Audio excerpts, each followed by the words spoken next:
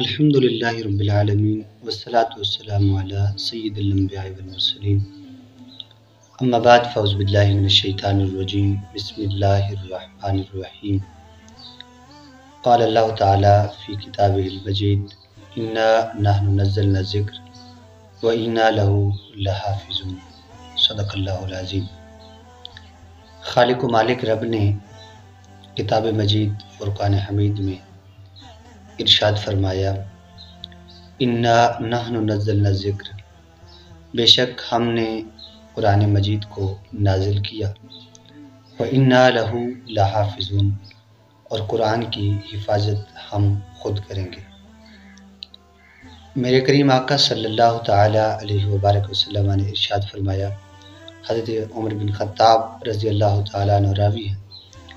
इन अल्लाह ताला यरफ़ बहाज़ल किताब अकवामन व यदा भी आखरीन करीम ने इरशाद फरमाया कि अल्लाह ताला कुरान के ज़रिए से एक कौम को उरूज रिफ़त अता फरमाएगा तो दूसरी उससे पीछे रह जाएगी यानी एक कुरान पर अमल करने की वजह से कुरान को सीखने और सिखाने की वजह से अल्लाह ताला उसको इस वजह से इज़्ज़त अता फरमा देगा और दूसरी कौम जो कुरान को बिल्कुल छोड़ देगी, कुरान का रास्ता इख्तियार करना छोड़ देगी, अल्लाह ताला उनकी इज़्ज़त उनसे कम कर देगा।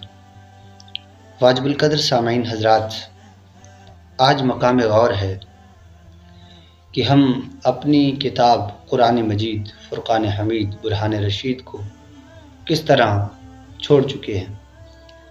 मैं अर्ज़ करूँ, हमारे बच्चे गर्मियों में और सर्दियों में स्कूल जाते हैं। तो क्या होता है? गर्मियों में टाइम सुबह सात से एक बजे तक या डेढ़ बजे तक होता है और सर्दियों में सुबह आठ, साढ़े आठ से लेकर दो तो ढाई बजे तक होता है। तो इस सारे दौरानिया में वो तालीम हासिल करते रहते हैं। तालीम की मैार और तालीम का जो सिलसिला है, वो जारी रहता है।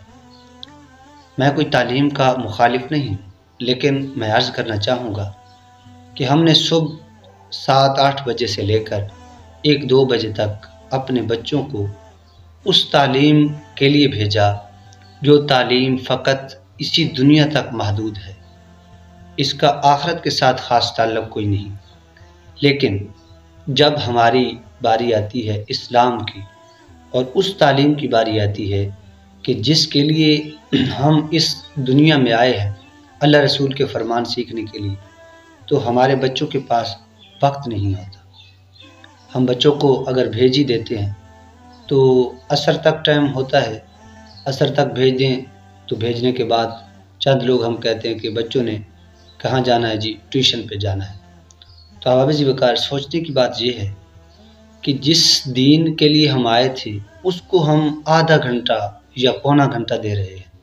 और जिस मकसद के लिए नहीं आए थे, उसके लिए इतना वक्त निकाल रहे हैं। भाइयों, सोचो तो सही ज़रा। इसी पर अलामा इकबाल रहमतुल्लाह ताला आप बोले दर से कुरान कर हमने भुलाया ना होता। तो ज़माने ने यह ज़माना हमें दिखाया ना होता। वो ज़माने में मुज्ज़ थे।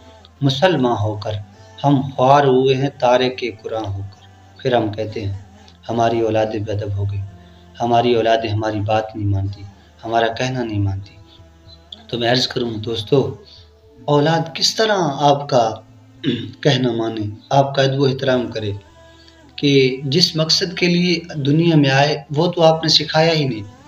अदब तो इस्लाम सिखाता है, एहतराम तो इस्लाम सिखाता है। और रहन सहन के जो सिलसिले हैं, वो तो इस्लाम सिखाता है। जब हमने अपनी तहजीब को ही छोड़ दिया, तरीक़ाकार को भी छोड़ दिया तो फिर हम रो क्यों रहे? रोना इसी बात पर है ना कि हमने अपने इस्लाम को छोड़ दिया।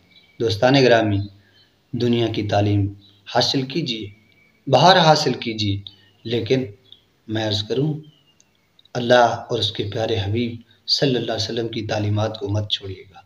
अपने बच्चों को तालीम दीन से आरास्ता करें और दीन की तालीम दें ताकि ये आपकी कामयाबी के सबब बन जाए। कल क़यामत के दिन अल्लाह इन्हीं के सदक़े शायद हमारी मफ़रत फरमा दे।